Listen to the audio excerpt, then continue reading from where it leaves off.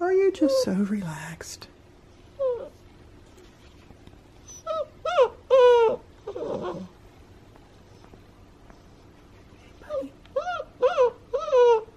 Let's show its little attitude.